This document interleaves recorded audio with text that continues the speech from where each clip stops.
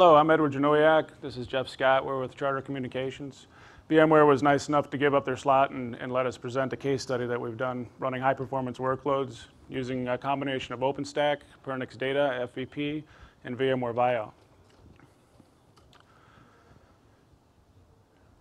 What we wanted to do is replicate the success that we've had with Pernix Data on our VMware platform, but we wanted to replicate that in our OpenStack platform.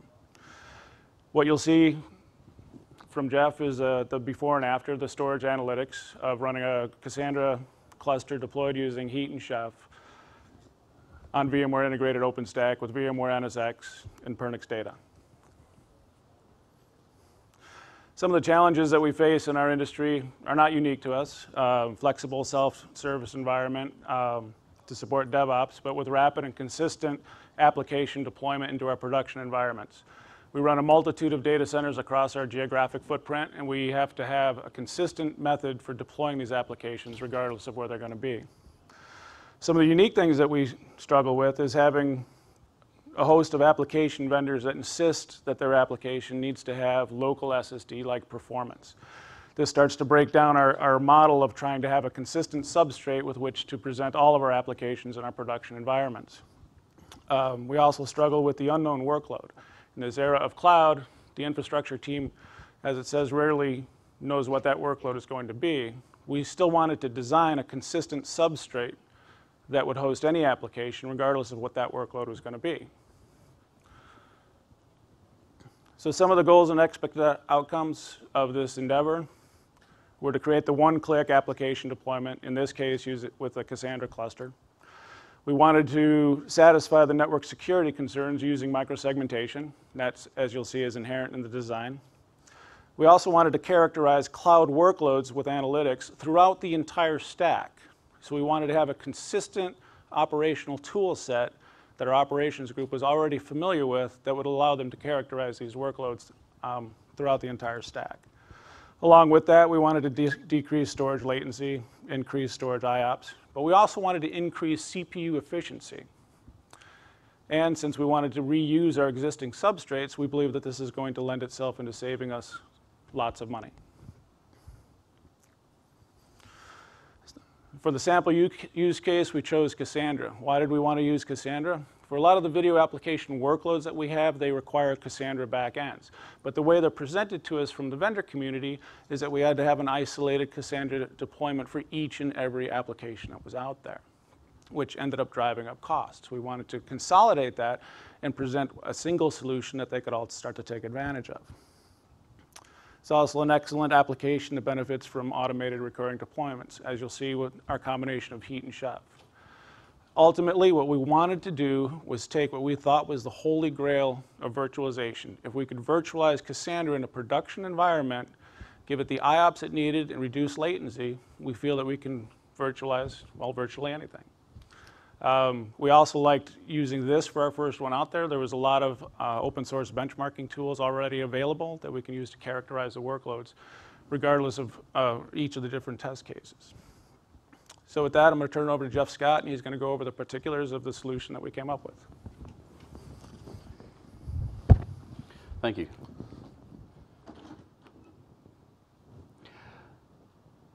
So as Edward said, um, we brought together a number of different products throughout the VMware ecosystem. It started obviously with the VMware Integrated OpenStack. Um, this is a Kilo-based OpenStack. Um, OpenStack, I mean, uh, uh vSphere, VMware is easy for us because we have a, uh, we're already a large shop of VMware where we can leverage our in-house experience. Um, but more importantly, we bring in all those ecosystem of partners um, to complete this solution end to end. Um, that includes the VMware NSX for the SDDN layer, um, Pernix Architect and Pernix FVP, which you'll see some here of that here in a second, um, which is the storage analytics and optimization and uh, acceleration engine we have running at the hypervisor. Uh, Heat and Chef.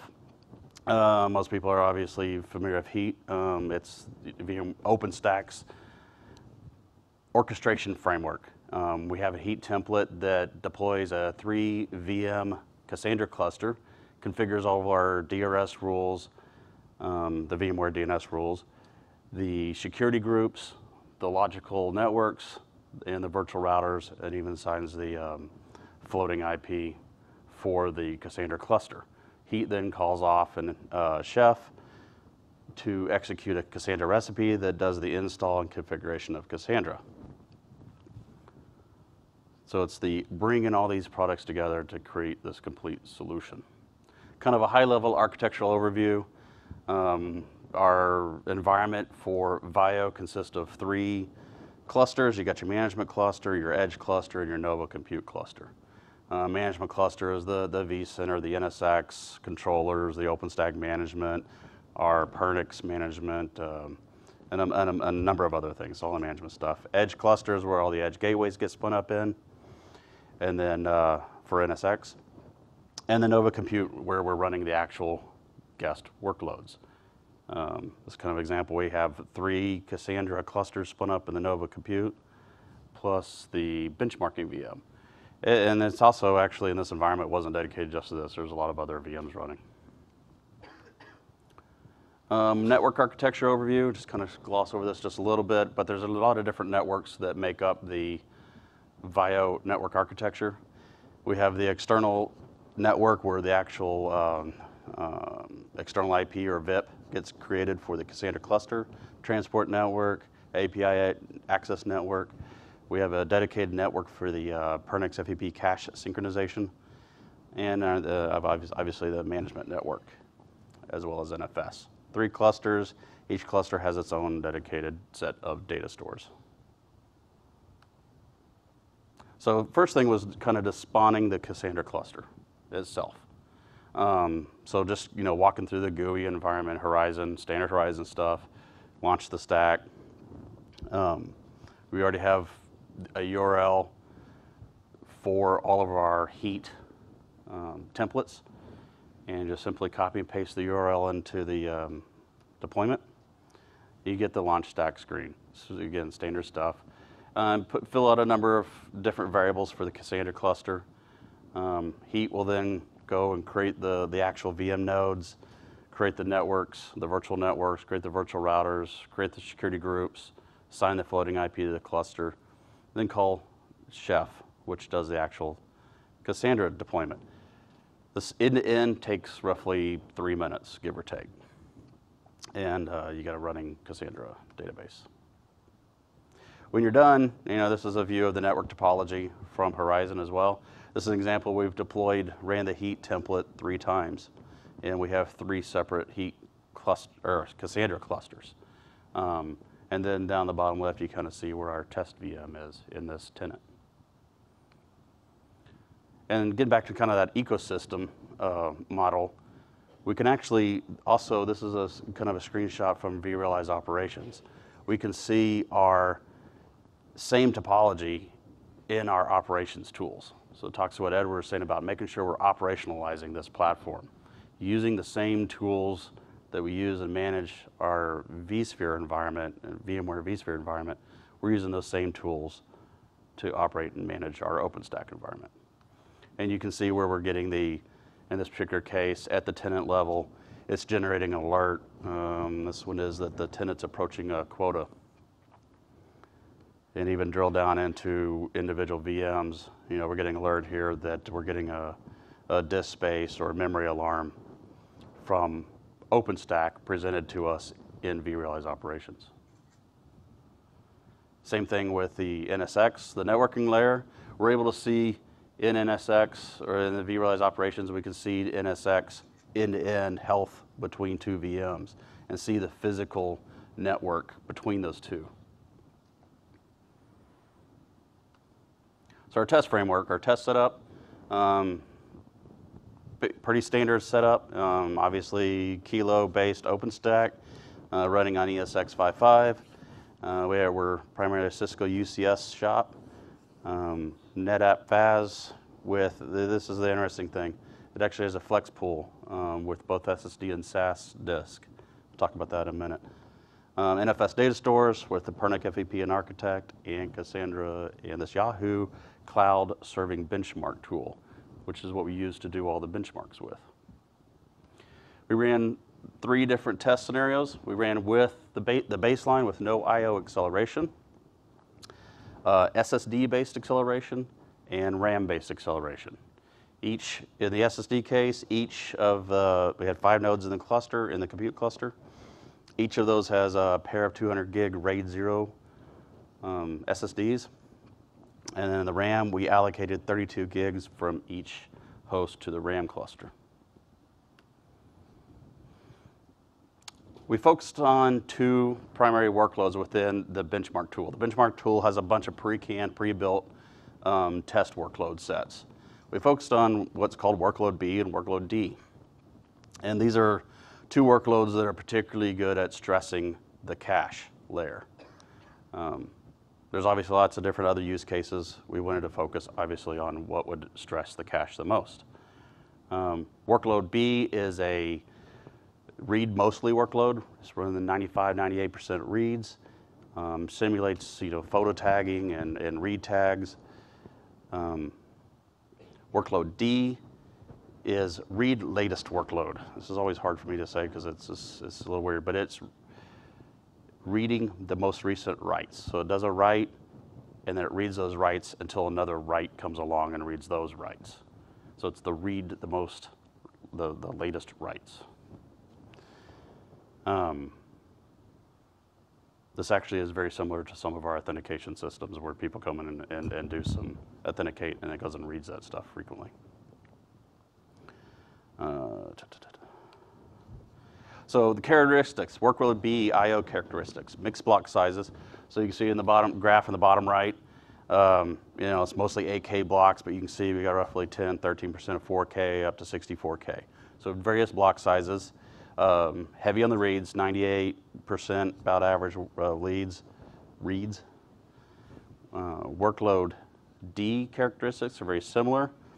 Uh, mixed block sizes, very heavy on the reads um, with a few writes. Again, it does a write and it starts reading those writes.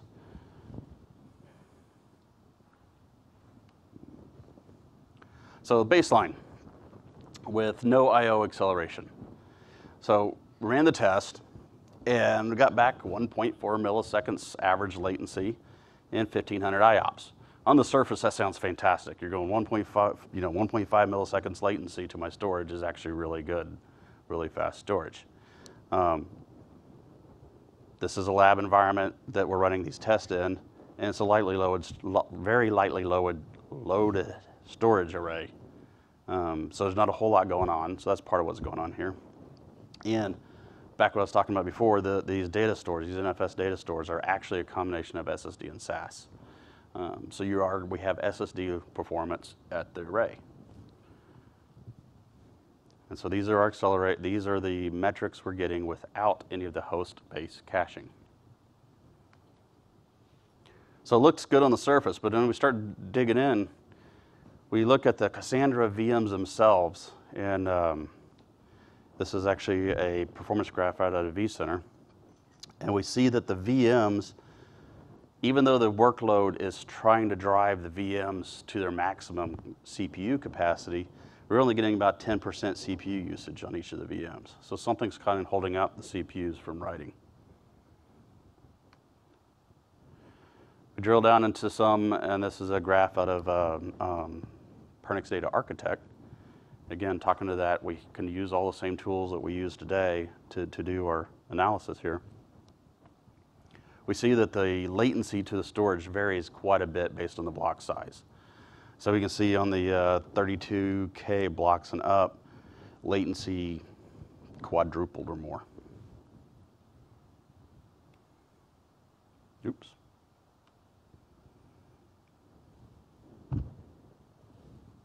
I don't know what's going, it's not draw my graph. Wonderful. These are like the best graphs here.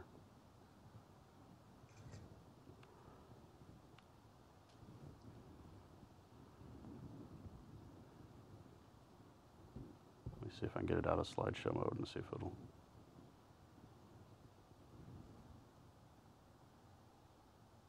Nice. I apologize. Technical difficulties, you gotta love it. This displayed fine earlier.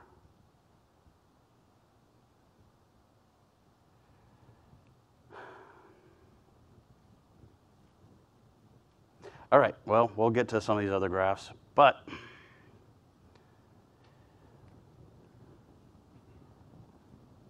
what you're seeing, at least and sorry these aren't displaying here, um, uh, these two graphs on the left are our update response time and our read response time. Um, lower is better. You can see that the baseline we had 27 or what is that about 270 milliseconds runtime, and obviously with using the local cache that dropped dramatically. Uh, same thing on the update time, dramatic decrease for the SSD and RAM acceleration. On the graph you can't see on the right, it would show you that um, for our overall throughput numbers, this is where it really starts to come together.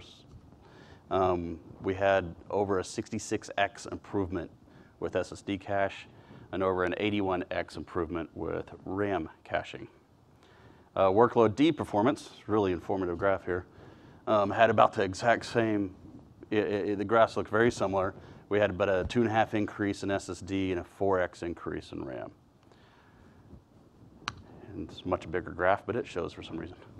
Um, and this is kind of the before and after. So we had went from 1.4 milliseconds read time or, or, or uh, latency down to 0.05 milliseconds latency. So even though we had this this uh, very high performance storage array in the back end, we still can take advantage of the storage acceleration layer at the hypervisor. Um, and this is due to the, you know, being able to run the ecosystem of VMware partners to bring in the same tools that we have in our normal environment, but layered, leverage OpenStack. Um, IOPS went from 1500 to 1800.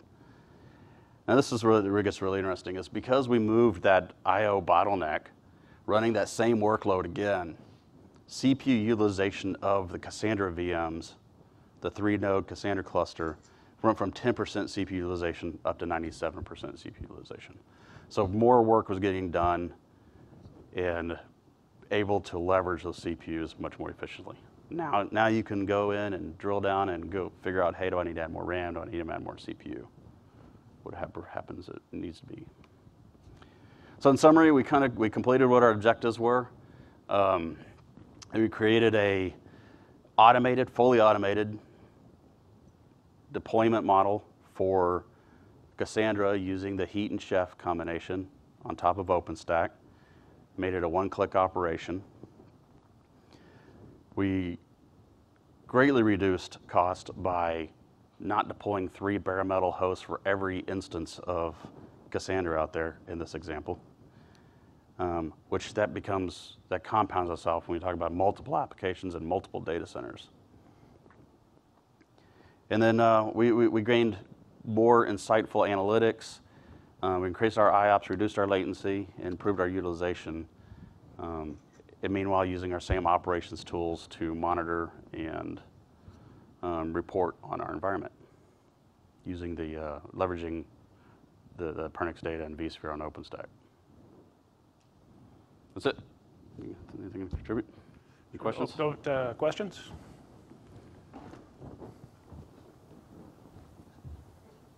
No questions. All right, thank you very much. Thank you.